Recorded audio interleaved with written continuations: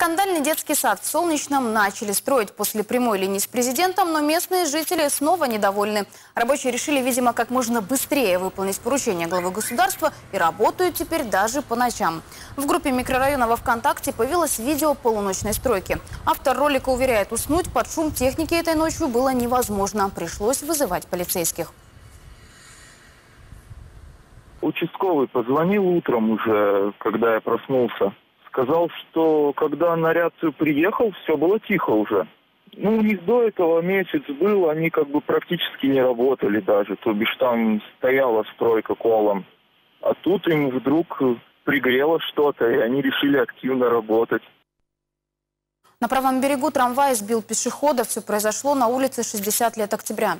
По данным ГИБДД, пострадавшему 33 года. Его доставили в больницу. В департаменте транспорта рассказали, скорость трамвая была 20 км в час. По словам вагоновожатого, пешеход вышел на проезжую часть из кустов, хотя на фото от пути они довольно далеко. После аварии водитель оказал пострадавшему первую помощь. Движение трамваев восстановлено.